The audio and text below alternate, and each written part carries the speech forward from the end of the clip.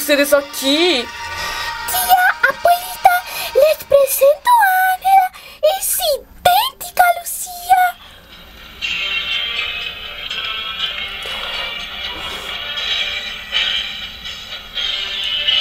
¿Pero qué están haciendo ustedes dos aquí?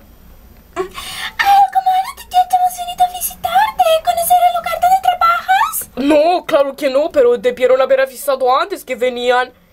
Ángela, ella es mi abuelita Enriqueta y esta es mi tía Cristal. Cristal es mi esposa. Yo ya la había visto antes ¿En dónde? en una iglesia. Y bueno, doña Enriqueta Covarrubias es la abuela de mi esposa. Mucho gusto, señora Enriqueta. mucho gusto.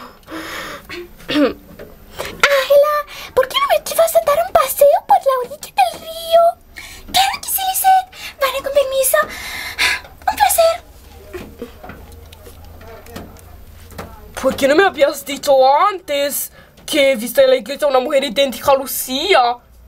Cristal, no te quedes callada. Te hice una pregunta. ¿Por qué nunca me dijiste que habías conocido a una mujer exactamente igual a Lucía? Mi amor, te juro que lo iba a decir. Yo le prohibí que te lo dijera. Eso despertaría en ti la falsa esperanza de que Lucía estaba viva y volverías a desatender a mi nieta. Cristal, me siento mal. Llévame de regreso a la ciudad. ¿Pero qué te pasa, abuela? Mm, No me siento muy bien. Me quiero ir. Llévame. Ah,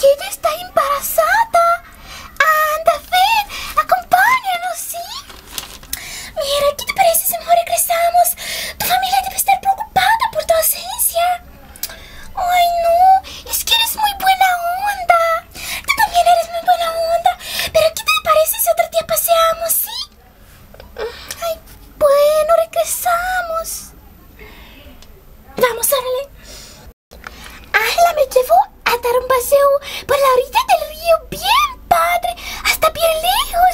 Ahí está grandísimo el río. No sabía que estabas por esos lugares, Ángela. Bueno, yo tengo que regresar a la hacienda. ¿No vas a montar a caballo con nosotros? Es que se me hizo muy tarde, Lisette. Pero dejamos para otro día, ¿qué te parece?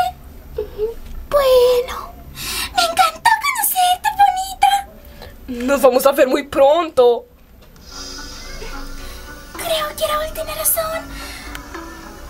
Sí, yo también creo que tiene razón.